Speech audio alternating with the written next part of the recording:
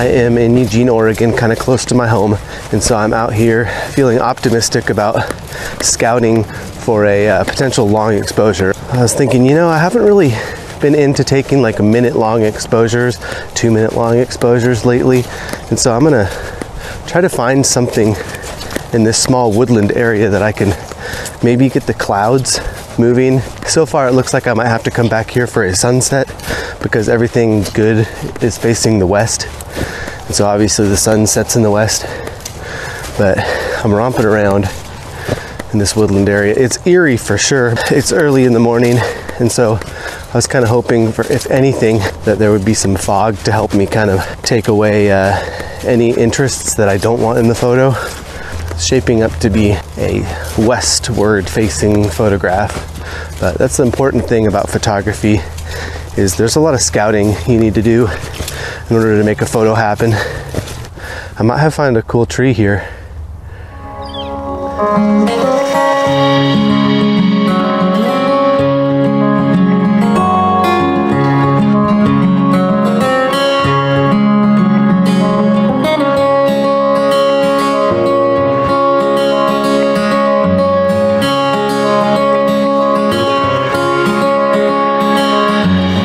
So as I've been wandering around here, I was walking out in this field and I looked to my left and it looked like a little meadow, like hidden.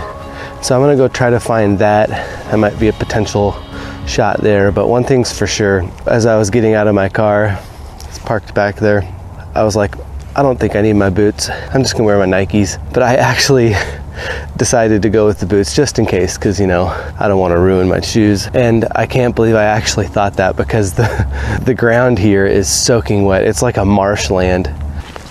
Oh man how deep is this? Hey not that deep. All right. See this stuff out here these like solo trees is what's uh, pleasing to me. There's several spots out here it is starting to rain now, and so I would normally stay here and shoot in the rain, but I don't feel like getting soaked just by scouting out the area. I've already kind of determined this is a decent spot to come back to, and so I will pack up my stuff and head back to the car because it's not worth getting soaking wet for uh, no photo. Either tonight, tomorrow night, just kind of gotta wait out a good sunset because it looks like it's worth it. I mean, I've got some cool meadows. If there was ice or snow or a sunset, it would enhance it. Otherwise, it's kind of boring and dead.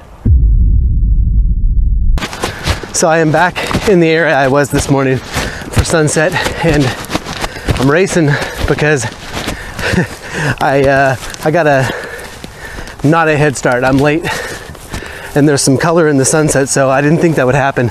So I raced out and here I am, oh, back out here, kind of close to the road that I came in on though, because I don't think I have time. So I gotta race, set up a composition here and get something going because the sun is setting and I got like five minutes maybe. So here goes nothing.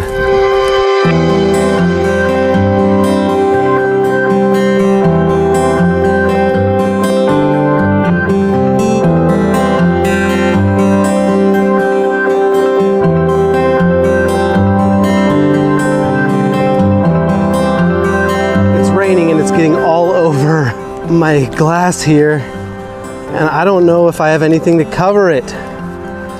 I have pretty much a shot and it's happening right now. So this is a make it or break it moment. Oh boy. Cause the shot, the shot's beautiful. Okay, I'm gonna improvise. We're going with this. Minute long, shutter speed at f14 ISO 50. I hope this isn't in the shot right now. That's the gamble. Plus, if wind's blowing, it's gonna probably get on the lens either way. Shoot. If it were to, I don't even know how it's raining. There's, there's no clouds right above me. That means it should stop any second now. Ah, stop. Stop raining. If it let up just one second, more like 60. Come on. I've got the perfect colored sunset right now.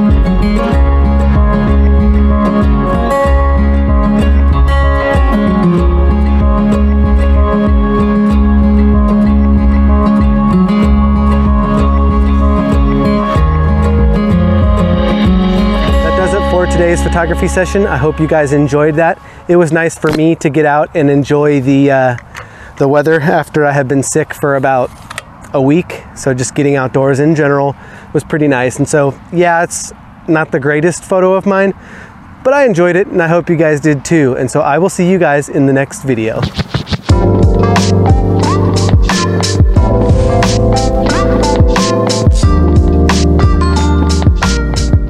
You guys like just having like a nice morning cup of coffee on the way to a mini adventure? Isn't that just the best? It's like, ah, yes, the good life.